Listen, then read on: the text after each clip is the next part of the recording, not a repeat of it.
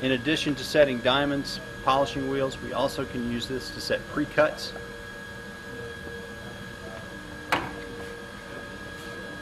With a corner breaker or pre-cut on the OG, we load the 45 degree diamond.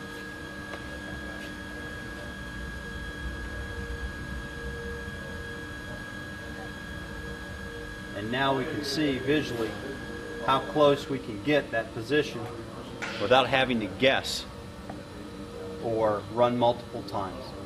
We can also see that as the wheel wears, we can adjust this in up or down.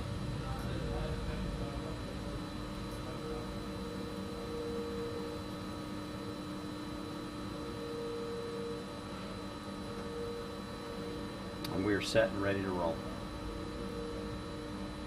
Once we're done, we can save this.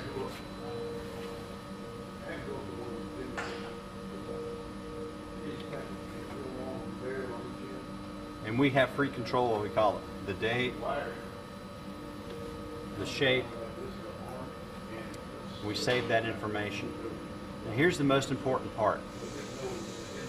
Once we have this information, we have all the machining radiuses set. All we simply have to do is click the icon and all of that information is now stored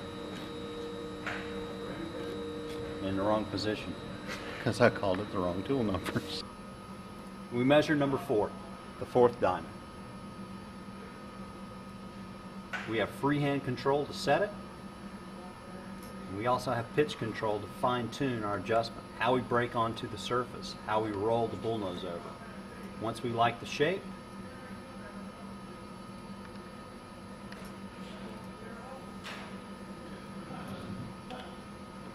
we account for the material sacrifice, select the tool, which in this case we've set in our sequence as tool number 14, and there's the shape we're going to end up with. And we simply load number 3, work backwards in the sequence.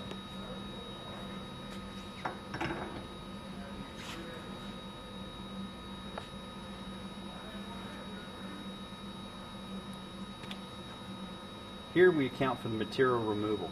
Drops it right on the previous line and we can work within the two-tenths of a millimeter tolerance that we have for the tool. Up, down, and adjusting this. Notice we're doing this visually. We're not using a crayon and marking stone. Confirm the tool in the sequence, which in this case is number 13. And there you can see what's going to be removed by your number 4 diamond. Number 3 will work to the yellow line, number 4 will work to the green. Then we load number two.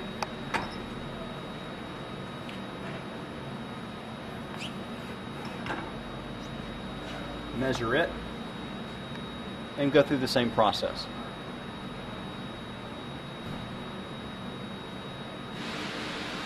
Check our tolerance. Four tenths, one, two, three tenths of a millimeter. Confirm this is number 12 and load number one. And it's key in this part because the number one diamond does all of the working. It's very key after we load this tool that we check the measurement of this. Typically for number one, we're going to see a lot of wear in this